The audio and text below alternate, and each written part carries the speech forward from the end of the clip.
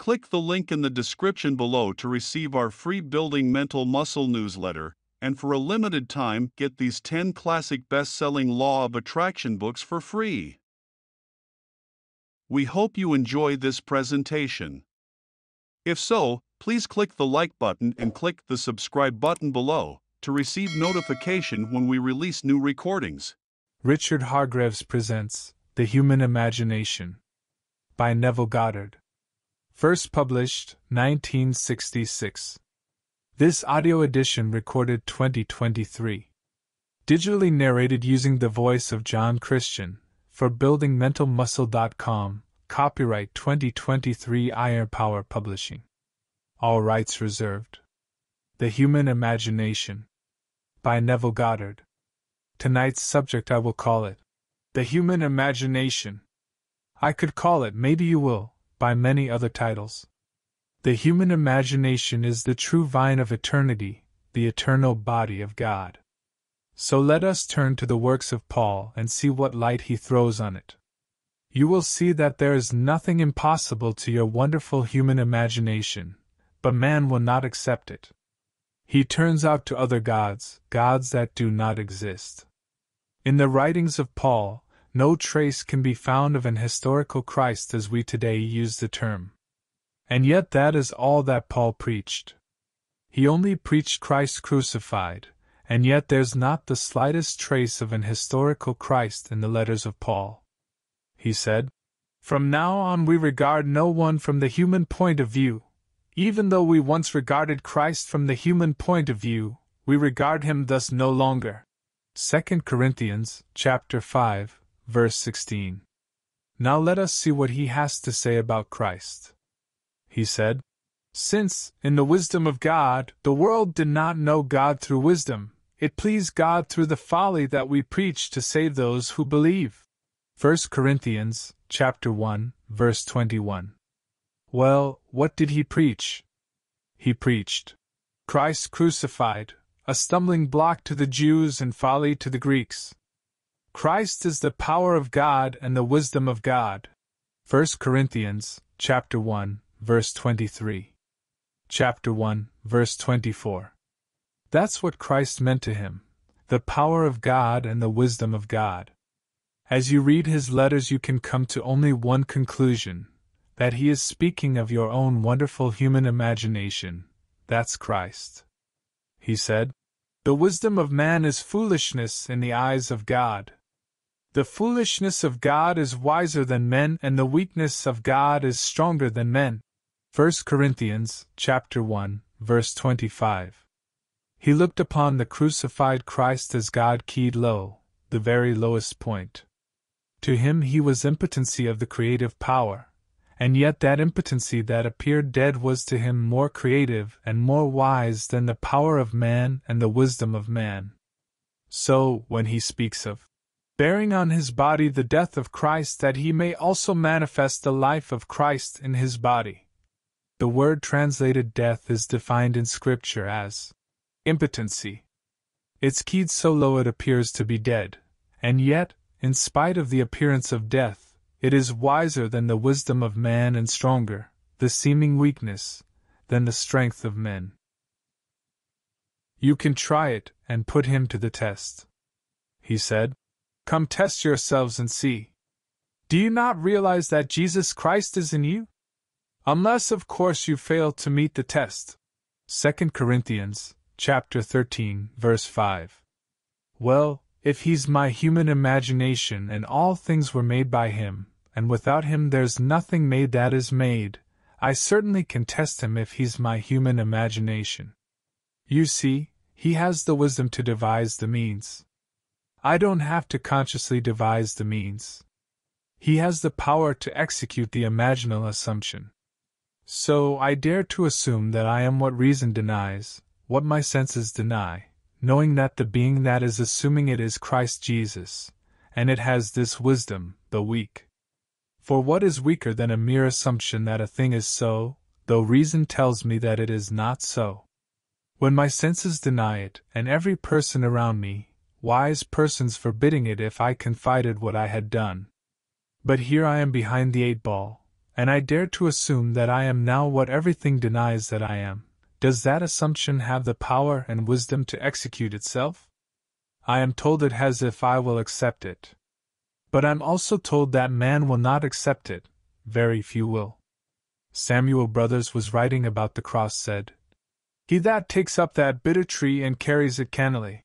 In other words, carries it quietly, don't discuss it, just carry it quietly.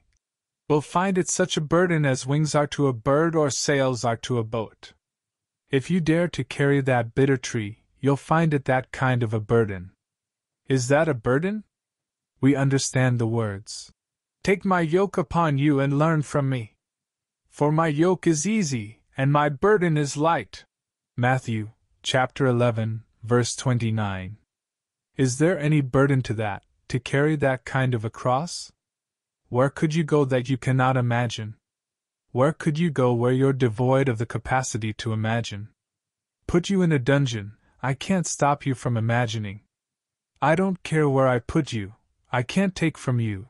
If I knocked you unconscious, I can't take from you your capacity to imagine. Well, is that a burden? He said. My burden is light and my yoke, if you accept it, is easy. He offers his yoke, which is his knowledge based upon experience, his knowledge of Scripture for yours based upon speculation, based upon theory, based upon your misconceptions as taught you in the cradle. So, he offers you what he personally has experienced. I'm speaking now of Paul. He offers this entire picture, for he went out to persecute all those who believed in the way.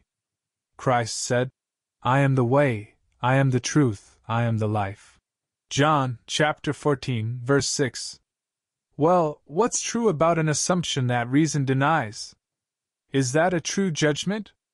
If I now wrote out exactly what I want to be and wrote it out as though I had it, well, that's not a true judgment if truth must conform to the external fact to which it relates. So I write out exactly what I want to be, but I don't write it in that manner, I write it as though I am it. Well, if I present that and can't present the evidence, well, then that's a lie. And so, he said, I am the truth. Well, if he's my imagination and all things are possible to him, I can write it in that manner, knowing I contain within myself the power and the wisdom to make it so. I need not try to break a blood vessel to devise the means to make it so.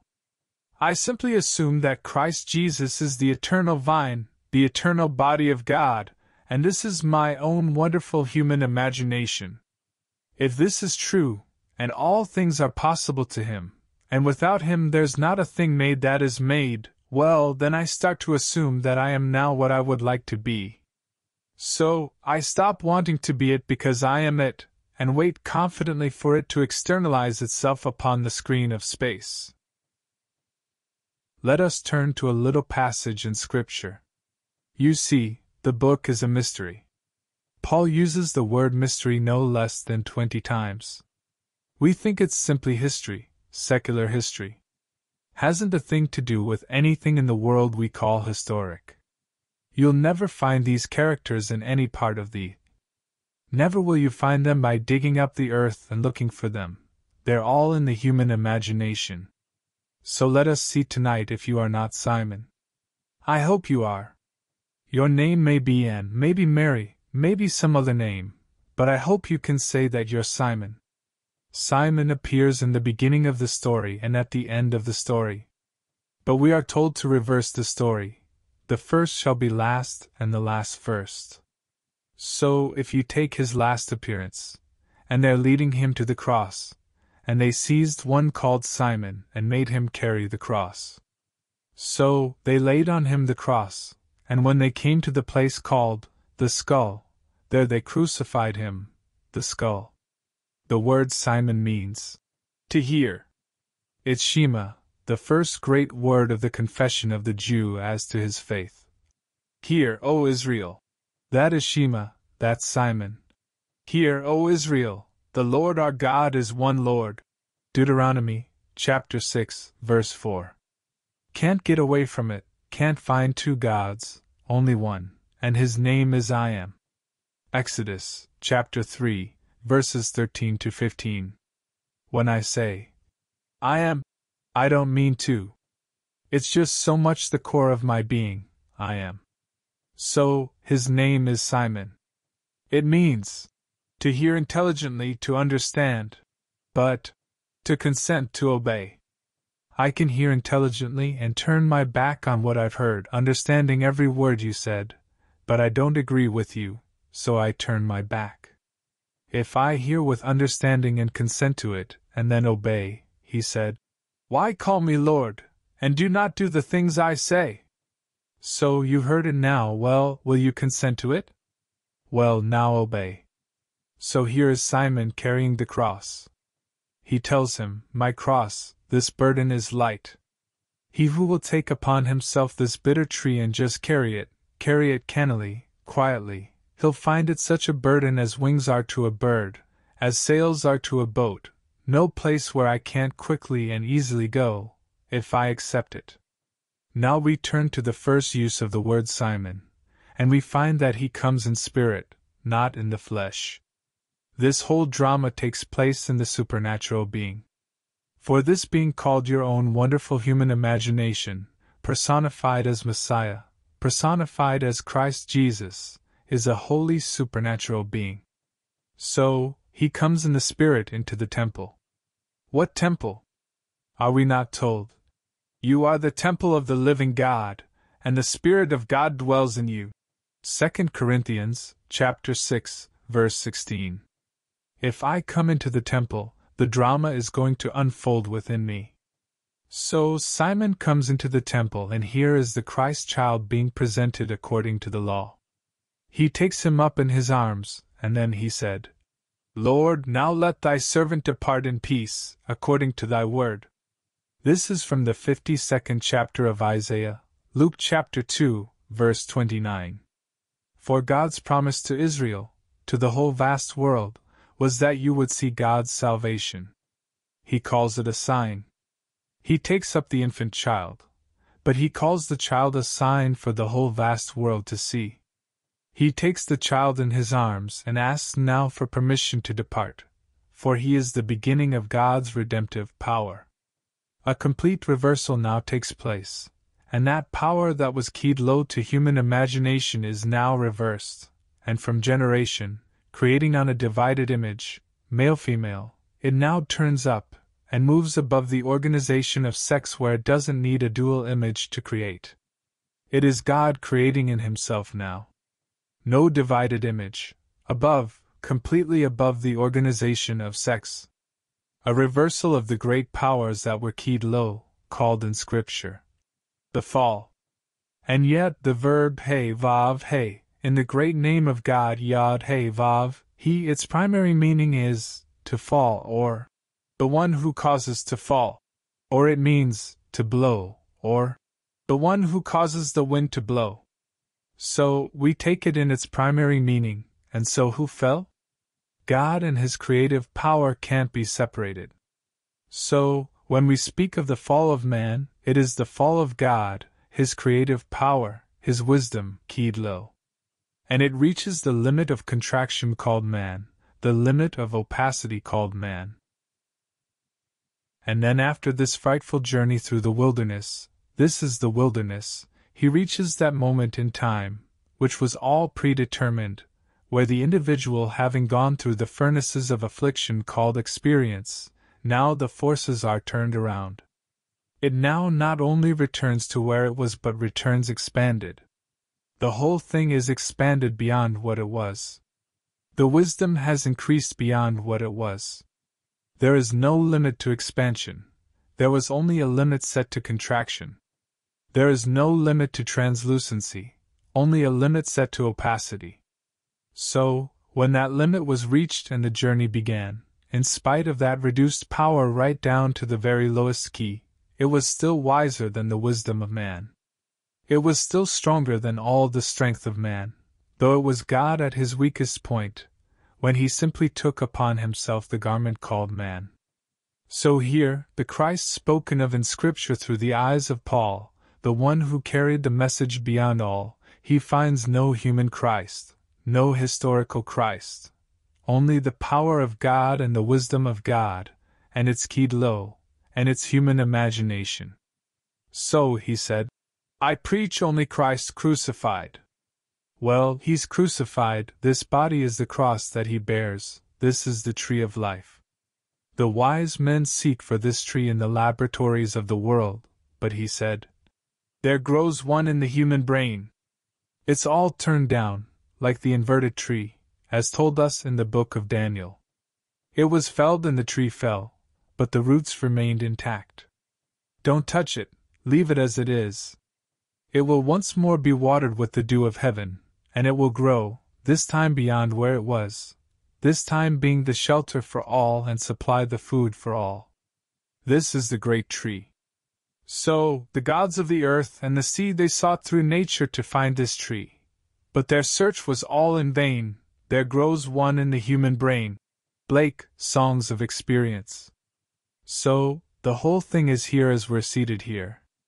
Could you say to what you've just heard, I am Simon. I'll carry the cross. I will not only hear what you said, I will consent to it, I will obey. So, when I hear all the discussions and no one comes up with a solution, there's always a solution present. What do you want in place of what you have? Well, that's the solution. But you say, it can't be obtained, can't be had. Doesn't matter what they say, it's what you want. All things are possible to God, even when he's keyed so low that it's only human imagination. But human imagination and divine imagination are one. The difference is simply a degree of intensity. And so, when keyed low, it seems dead, it seems impotent. But when you become a Simon knowing now, as the poet Francis Thompson said, For birth has in itself the germ of death, but death has in itself the germ of birth. So, it begins now with the cross, leading towards the skull where they crucify him. But that death carries in itself the germ of birth. Reverse the story. He first appears holding the birth, the sign of God's promise to man, the sign that he promised Abraham. I will give you a son.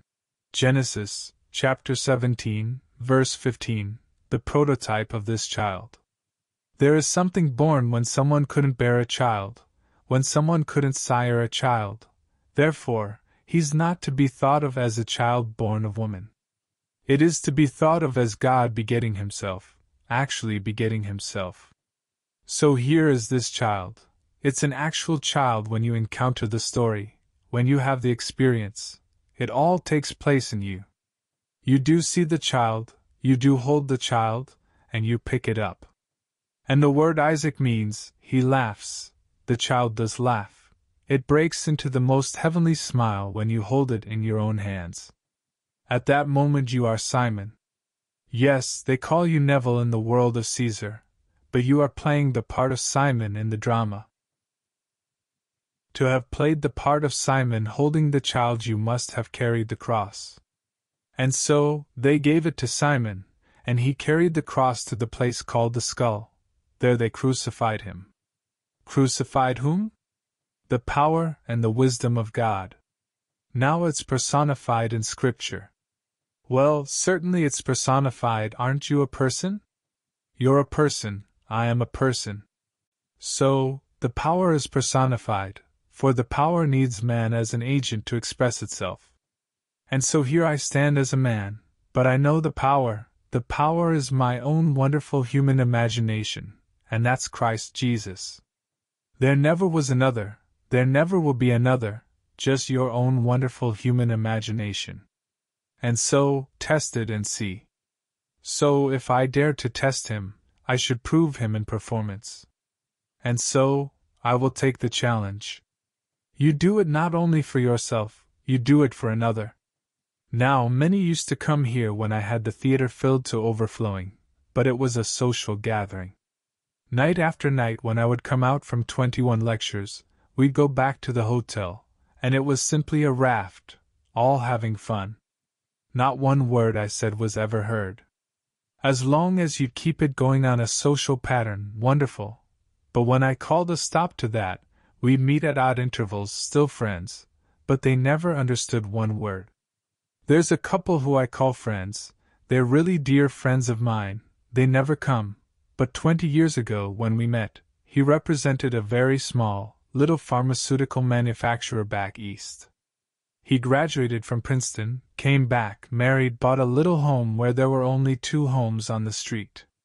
Naturally, with inflation, all things have grown. The house is now worth many, many times what he paid for it, but it's still a little home, a little tiny home. The lot's small, but the value because of inflation has gone up. She said to me one day, about fifteen years ago, Oh, I do wish that he could just get more, be more important. Here is this man from Princeton, and all these things, and look what he's making. I said, You want him to really make more? Yes. All right. Turning to the only power that I know of, my own wonderful human imagination, I carried on with her a conversation from the premise that he was making more. I didn't outline the means that would be employed for him to make more, I just simply imagined that he was making more, and that it came from her. Finally, his little firm was absorbed by a larger firm, and so a reorganization. He was kept, he knew the doctors, knew the druggists, knew the territory. But then they enlarged his territory, they gave him the whole state and they gave him all up to Washington, and all these states, Utah, Nevada, into, well, Arizona, which meant he had to be away seeing his sales force. He then began to take on a sales force, and he employed, oh, six or seven. He was always letting one go and getting another. Then she began to complain. He's making more, he's important, He's actually employing now six, seven people. He can fire them and hire them as he feels. But didn't you ask for it?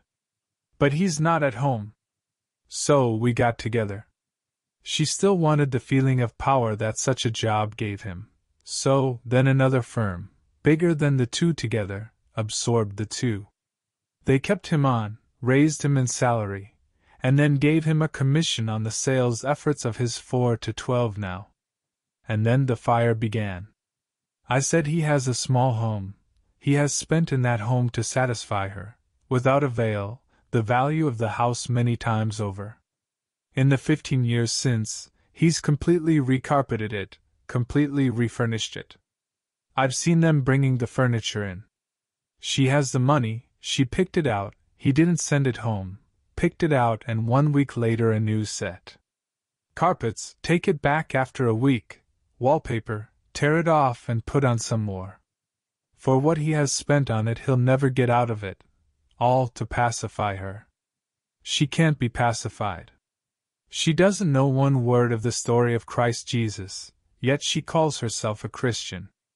Well, multiply her by all the Christians of the world, because there are so few who understand the mystery of Christ. You might say that 500 million do not know the mystery of Christ. They stick him on the wall, made out of plastic or something, monstrous artists, all the artists that made them. All these little indulgences, and there they are, and they call that a lord, making and violating the second commandment. Make no graven image after me. None. How can I make a graven image and fall down and worship the works of my own hands? I'm creating out of my own wonderful imagination. That's Christ, that's the power and the wisdom of God. To personify it, I must see myself. And the day will come you will see yourself in the depths of your soul. And you've never seen such beauty, you've never seen such character, such majesty, as yourself in depth. And there he is, meditating you, this surface thing that is flesh and blood. When you accept this, really accept it, to the point where you consent to it, and you obey it, then you can't turn to the left or to the right. In the midst of hell, you will still call upon this power. No matter where you are, call upon the power. I am not saying the body will not decay. As Paul said it so clearly, he said, our hearts are not cast down. Though our outer nature is wasting away, but our inner nature is renewed every day. And this temporary affliction is preparing for us an eternal weight of glory beyond comparison. 2 Corinthians chapter 4, verse 16. So, to his very end the body was fading, before his eyes the body was wearing out, wasting away. But he still taught it from morning to night. And when they, but look at yourself. Physician, heal thyself. He still taught that the only Christ was your own wonderful human imagination. Knowing that this outer garment more, it begins in time, ends in time, and though they may live to one hundred and twenty, they make their exit too. If they live that long, the chances are they'll have not one around them who truly call themselves lucky. They may be senile, dependent upon everything other than themselves, doing nothing for self. Paul didn't care, for he knew there is a time for everything in this world, a time to be born and a time to die. He wasn't going to hasten it. He knew that no one could delay it, but it would waste away, and he would continue to preach forever Christ crucified. As if infinite power was reduced to the little, tiny human imagination, and yet it was wiser and yet it was more powerful than the wisdom of man and the power of man. Yesterday, we were confronted with a picture. The mightiest land in the world, America, our production exceeds the production of the world put all together. If you take real production, we have the mightiest machine, 190 odd million of us, higher standard of education, and here a little country of 17 million, they have no productive power, no know how as we understand the word, and we are tied down. This mighty machine and it's tied down. And nothing will get us out of debt? Did you hear our Secretary of State? He said not a thing that you hadn't read a year ago in the paper not a thing. I rushed through my shower to hear it. I should have remained under the shower. There wasn't one word he said I hadn't read it in the papers that go back for months, and magazines, and commentaries, all double talk. They say they really want the solution. Well, the solution that you really want, peace, as we understand it. So, the government decides for itself. And let's not have some outside force impose its will. Then let them really believe, because all are going to suffer, and with few exceptions they are Christians. This is the land where most everyone in it calls himself a Christian. You find a Jew, but a 190 odd million Americans. We have others that call a different. We have a few Buddhists, a few of the Hindu faith.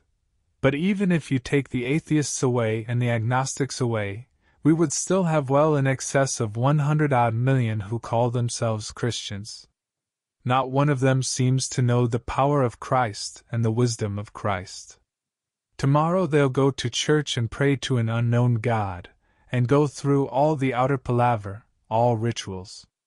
If there was one thing that Paul was dead set against, all institutions, all authorities, all customs, all laws that interfered with the direct access of the individual to his God. Anything in this world that in any way turned him aside from a direct access to his God, Paul was against it. And so that God is in man, man's own wonderful human imagination. It is the power, the creative power of God, the wisdom of God, and you can't separate a man's creative power from his imagination, which is imagining from imagination itself. Imagining is imagination in action, but you can't separate them. So, Christ is God in action. So, you say he's imagining, and God is all imagination.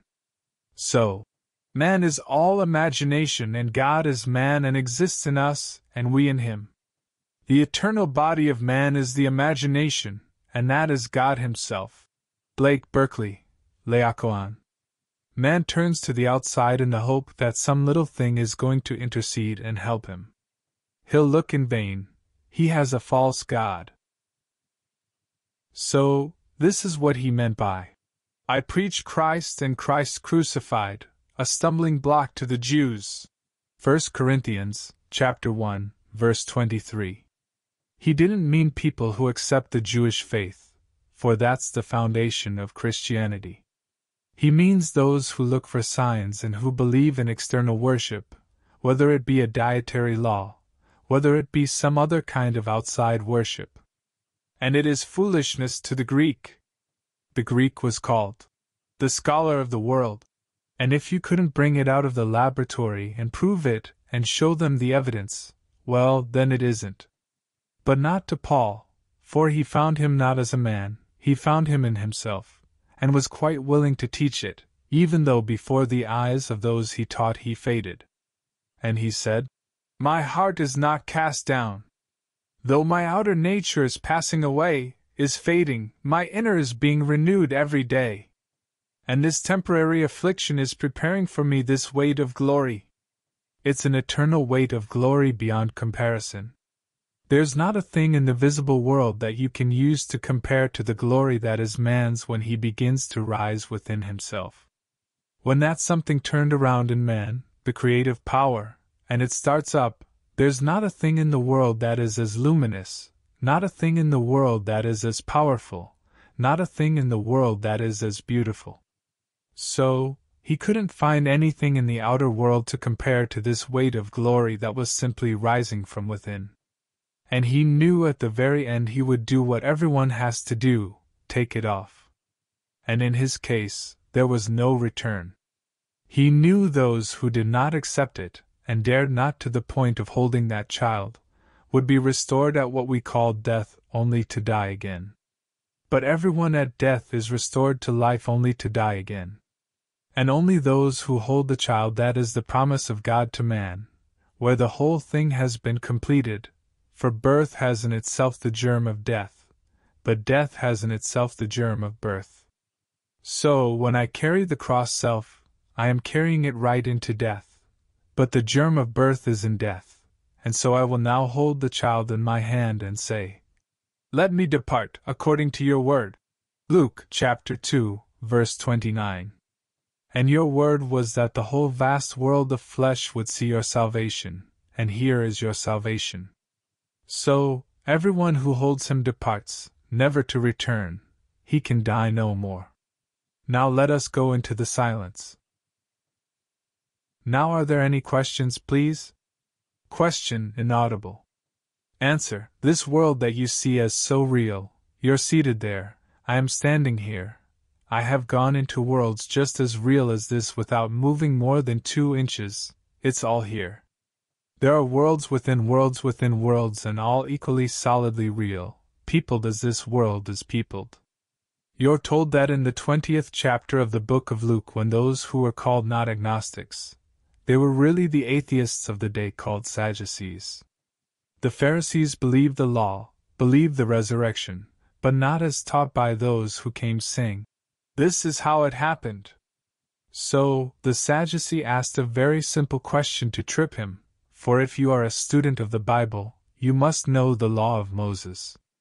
So, he said, Teacher, Moses in the law said that if a man marries and dies leaving no offspring and he has brothers, the brothers should take the wife and marry her to raise up seed for his brother. Well, there were seven brothers. The first married and died leaving no offspring, and the second married her and he died leaving no offspring, and finally, the third, the fourth, the fifth, the sixth, the seventh all married her, and finally she died, and there was no offspring. In the resurrection, whose wife is the woman? For she had seven husbands. Luke, chapter 20, verses 27 to 33. They said this to trip him. And this is his answer The children of this age marry and are given in marriage. One translation of that Greek passage for to read it, but it means that we beget on a divided image. But those who are accounted worthy to attain to that age. Now he divides the ages, this age and that age. And those who are accounted worthy to attain to that age neither marry nor are they given in marriage, for they cannot die any more. They are sons of the resurrection, sons of God. Verse 34.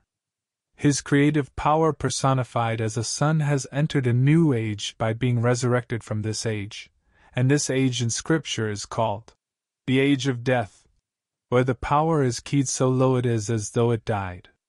When it's turned around and man is raised from this level, then he cannot return. He continues into the new age, therefore, he cannot die any more. If I said he cannot die any more, I imply those who are not as he is they must die. So at death, as we call death, a man is restored to life, only to die again. And so, the journey is on. But because God is playing all the parts, no one is going to fail. In the end, everyone must be resurrected, or a portion of his infinite creative power is missing, and that can't be. So, he implies that your marriage here may be blissful, may be happy, it doesn't mean that you'd be mated there to the same one. It doesn't mean that you'll play the part that you're playing now. He implies there will be no loss of identity, no change of individuality. The actor remains the same, but the part differs. And you learn to accept the cross, and live by it, consent to it, that you may know how to resolve every problem in the world, even though keyed low, that you trust the power of God and the wisdom of God, and not necessarily the wisdom of man. So, where you start in life, if you know Christ crucified, it doesn't really matter. You don't have to be on the right side of the street, born to the right family as they consider it. That does not mean that you're nearer the new age. So, he implies, in fact, he states, spells it out. Those who are accounted worthy to be of the resurrection. Well, the whole drama begins, really, with the resurrection, the new age. The drama, the overall drama begins with the crucifixion, that's over. Crucifixion is over for all of us. Everyone has been crucified with God, for everyone is alive, and that imagination of man is keyed low, that's the crucifixion. So, the crucifixion is over for every child born of woman. Will he now, while crucified, hear the story and consent to it and live by it? Then it leads him towards that birth, the birth of the child, where he holds it in his own arms, and asks that God keep his promise. Let me depart in peace, according to your word. Everyone will hold him. Any questions? Question inaudible. Answer What about those who believe in karma? Well, karma is about cause and effect. The Bible does not say it isn't a world of cause and effect. So let man not be deceived, for as you sow, so shall you reap. If I plant corn, I'll reap corn. See yonder fields, the sesamum was sesamum, the corn was corn, the silence and the darkness knew, and so was man's fate born. We always reveal what we are sowing, all imaginal acts. But he also teaches that when a person comes into this world maimed, he uses the story of the blind man, not because of some previous experience on earth that he takes the sight of another, blinded the other, Therefore he has to now repent. No. He said, That the works of God be made manifest. You will play all the parts in the world, or you have played them. But here, be careful what you're planting, your imaginal acts. And if the whole vast world believes in karma, meaning reincarnation, the Bible doesn't teach that. It doesn't teach any loss of identity. I couldn't meet those that have gone beyond, as I do, and have loss of identity. My mother died at 62, 63, a painful death. She looked, oh, many, many years older than that. Yet the moment she died, 2,000 miles away from where I was, she appeared this beautiful, glamorous woman about 20, 19, 20, 21, just brushing her lovely long blonde hair. She was very blonde, china blue eyes. Wouldn't talk to me, but there she stood, and just simply brushed her hair and smiled. So here she dropped off at least sixty years from her appearance. She preceded my father in death by twenty years.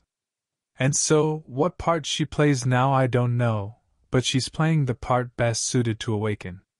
For the purpose is to awaken and turn around. And we did nothing to cause the fall. The fall was self imposed by God for a creative purpose. Only by restricting himself could he expand himself. So, no one is to blame. Any other questions, please? Test Christ, your own imagination, test it. Put it to the test. you should prove it in the testing.